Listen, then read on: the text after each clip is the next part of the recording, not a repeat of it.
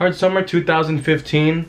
My friends and I are walking from the parking lot going to Hard, really excited. We know the line is gonna be long. And when we get in front of the line, my friend's CamelBak was not allowed in.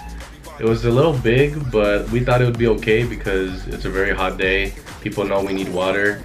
And yeah, security was just like, hey, you can't have that in here. We looked around, we saw a bunch of people wearing similar CamelBaks and we're like, how's it possible that other people have it and ours isn't being let in? Like, what's going on? I'll never forget this story. It was a huge reason why I thought to never bring a CamelBak or other hydration packs to music festivals because I was like, what if I have all my stuff in there? I can't even bring it in. I'm gonna put it back in my car and then people are gonna steal my stuff because that happened to us at Hard as well.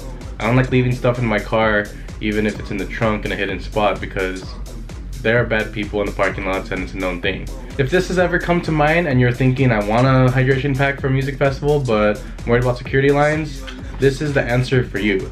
This is the Lunchbox. It is one of the newest hydration packs for music festivals and it was made by a festival goer so you know everything is gonna be security safe.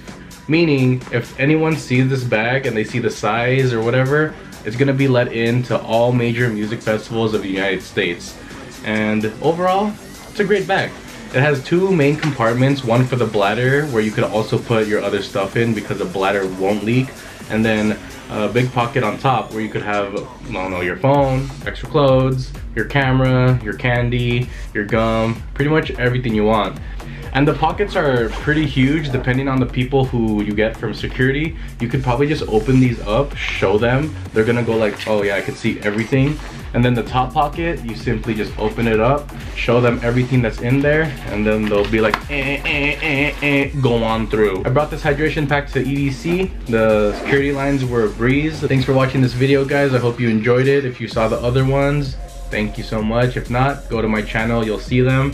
I'm gonna make one more video about this, pretty much my EDC review throughout the whole weekend, my thoughts, what I liked about the bag, what I disliked, and yeah, stay tuned for that.